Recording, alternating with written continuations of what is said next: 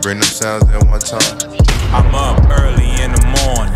Uh, to get the skrilla, skrilla. blue face pillar, face pillar, the blade dealer, uh, make a nigga forfeit, yeah, cause I'm the realest. Hey, niggas talking short shit, nah, I need a million. Big stepper, Big stepper. yeah, bitch, I be stepping. Steppin'. Coolin' kit with the flip switch, bitch, that's the weapon. No drama. drama.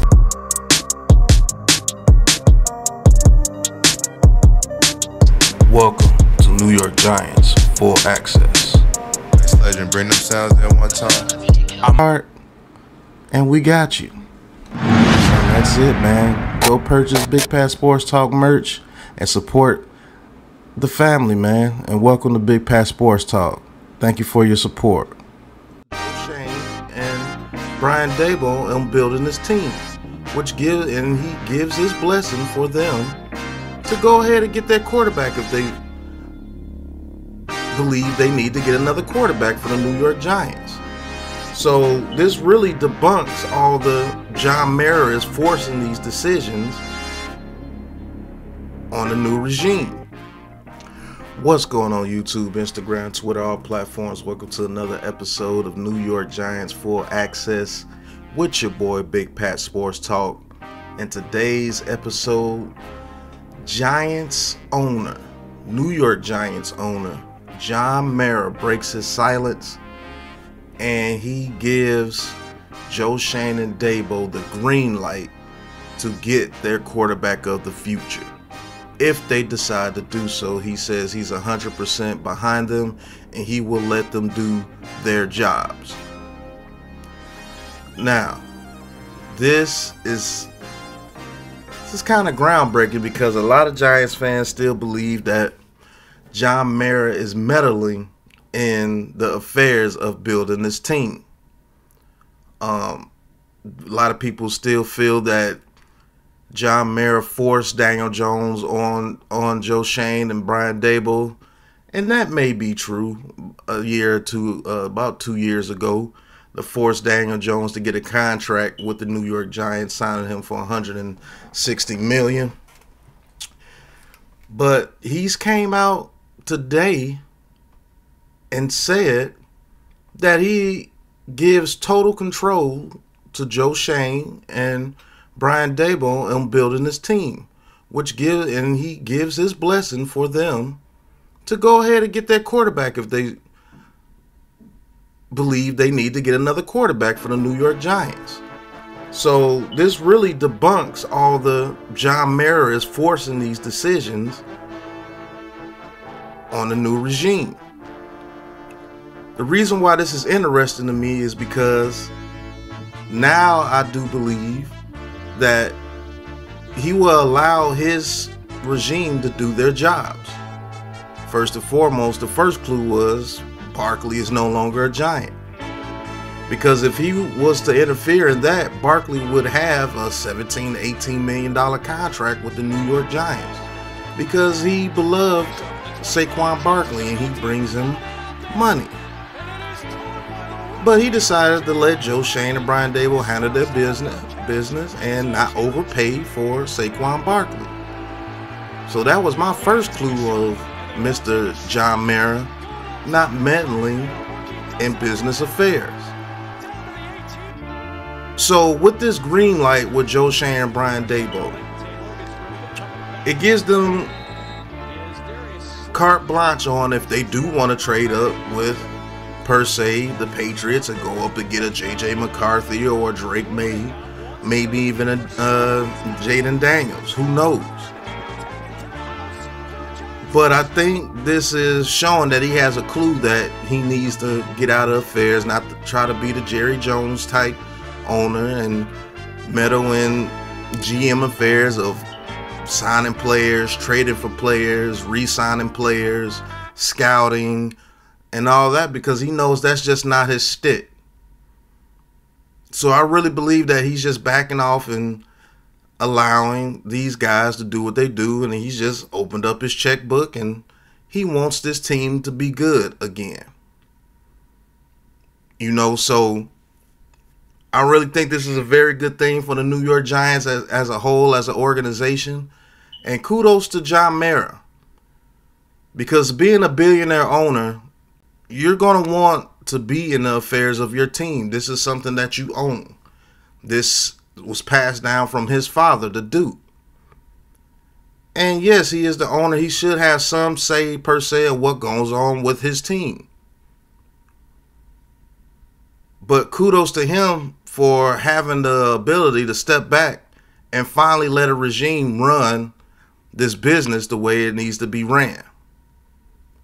So all this tells me is is that Joe Schoen and Brian Daboll probably not going anywhere for for for a good amount of time because I do believe he's going to let these guys build this team the way that it should be built, which is a great thing. Now, another thing that he said is about the offensive line. He said not being able to build an offensive line for over the past 10 years is absolutely embarrassing and is troublesome and he's embarrassed by it, which he should be. You should be embarrassed by not building the trenches the way the trenches are supposed to be built, especially as a New York Giants. The New York Giants were built off the trenches, off the defensive line and offensive lines. That's what we do. Good running game, have a quarterback that come up with the clutch plays when they need to, and get after the quarterback. We haven't done that for almost a decade now. And he's absolutely right. It is absolutely embarrassing. Because that's not New York Giants football. That's not the way we play football. No matter what these fans think this new age football is supposed to be, we're supposed to throw the ball deep nine times out of 10 plays. We're supposed to throw the ball over the yard. The quarterback's supposed to have the 4,000, 5,000 yards every season. That's not us. That's really never been us. We really never have ever had a quarterback that was revered in the NFL. Phil Simms wasn't revered. Jeff Hostetler wasn't revered. Kerry Collins wasn't revered. Eli Manning is not as revered as he should be. But we've really never had that quarterback that all the fans just go goo goo gaga over. We've really never been that team. But what we have been is very good across the offensive line, and we didn't need 10 first round picks to do it. We just had tough, gritty offensive linemen that were very versatile and could play many positions. And that's what we're getting back to with the signing of Jon Runyan. He can play tackle, both guard positions. The signing of uh, Eluemunor, he could play tackle, right tackle, in both guard positions. We're getting back to that. And hopefully these signings that we did in free agency this year help us get back to that. The owner shouldn't have to come out and say, I'm embarrassed because we couldn't build the offensive line. You should have got some people in office that could build your offensive line. And yes, they have tried, but they've picked the wrong people. And sometimes that happens. But looks like we're getting back to our roots to where the owner is not putting his nose in people's business when it comes to his GM and his head coach. And he has allowed them to build the team, a la Bill Parcells, a la Tom Coughlin.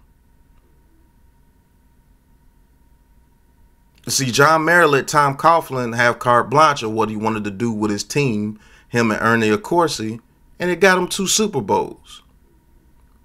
It's not until he started butting his nose and wanted to get the guys that you really love, the high priced, the the revered offensive coordinators, we're going to throw up 30, 40 points a game, blase, blase, blase, getting away from the power run game. And look what happened. See, when these fans, they don't know to see when they wanted change and when they got the change, our history started to change. Our organization started to change for the worse. See, when we got focused on the flash, Odell Beckham Jr., Evan Engram, we lost our way. And these fans cannot see that. We're not a franchise that puts up 40 points a game. We're a franchise that can put up 20 points and hold the other team to 10. We're a franchise that can sack your quarterback six to seven times or get so much pressure on the quarterback that it, it, it ruins the whole the, the team's whole game plan.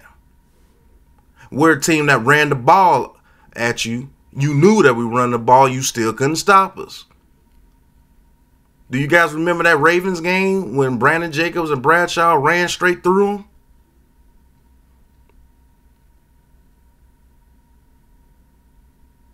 See, we stopped being the bullies and started getting bullied when he started putting his nose in business affairs. And that's what you get, Mr. Mara, an embarrassment. Now, I'm glad that you see that it's an embarrassment, and I'm glad that you see that it was part your fault, and now you're stepping back.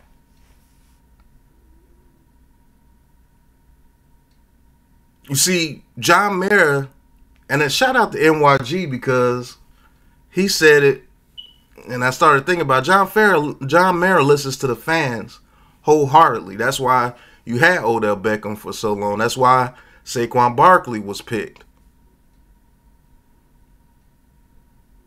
That's why Ben McAdoo was made head coach because all these fans, oh, I, want a high profile offense. I, I want touchdowns. I want 30, 40 points a game. Let's get with the times. And when he tried to get with the times, we've had a long time getting our ass whooped because we're getting away from our roots. Now, I'm not saying that Brian Daboll is going to go back to the past where we ran the ball the way we ran the ball when we had – people like Joe Morris, Rodney Hampton, Jacobs, Bradshaw, Ward, Tiki. I'm not saying that they're going to go back to those times. But I do know that they have the blueprint of getting these trenches fixed and going about their business. Because you still need the trenches in order to pass the ball around the yard the way you want to pass the ball.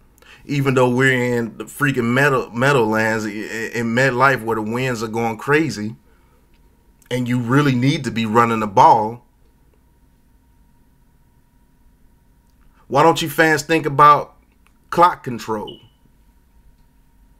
time management, having a fresh defense? That comes when you're able to run the ball and control the clock and continue to move the chains. That's the teams that won Super Bowls for us. It wasn't Eli Manning throwing the ball all over the yard, throwing for 5,000 yards and 40 touchdowns and 50 touchdowns. No, it was Eli Manning playing very good football and the defense giving giving him the football, giving him the chance to come back and win those games to be the clutch quarterback that he was. See, that's what got us Super Bowls.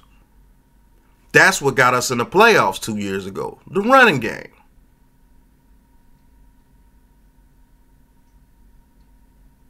And playing defense.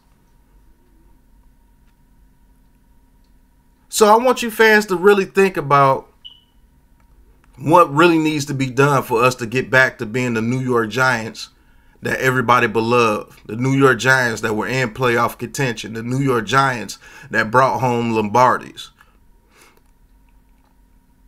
the New York Giants teams that nobody wanted to play.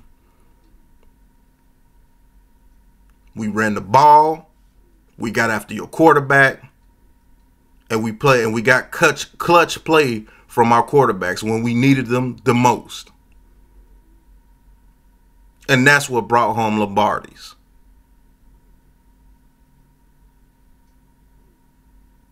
So you can continue to bash, you can continue wanting this supreme offense and this guy quarterback that you're praying for so much.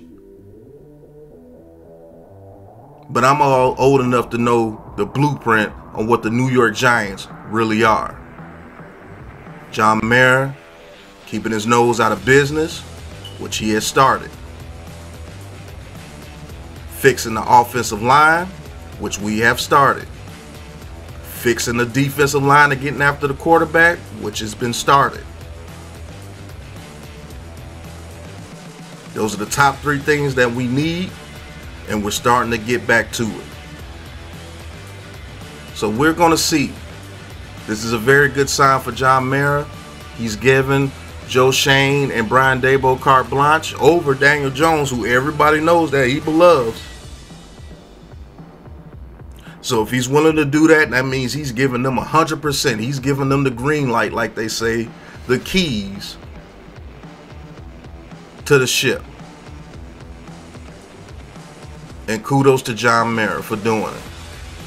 Because that's what needs to be done.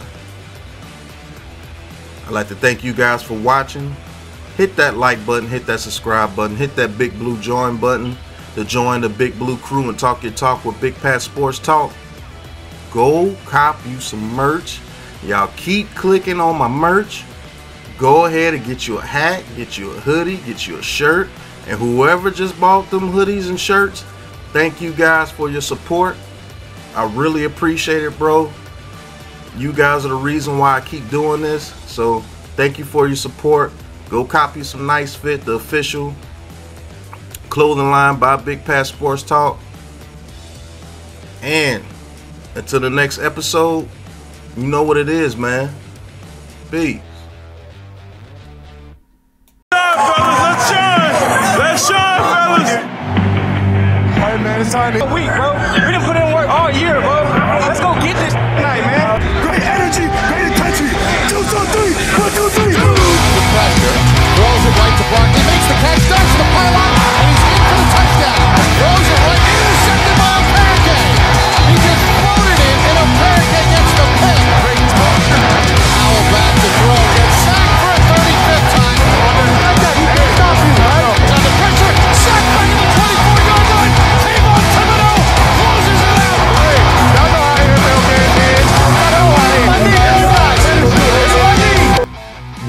To New York Giants Full Access.